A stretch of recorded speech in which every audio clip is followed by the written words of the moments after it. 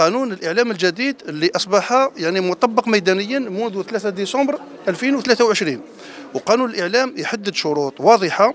هذه قضية العنف وقضية استغلال الإشهار من طرف الأطفال وغيرها اذا كلها لابد من الالتزام بها.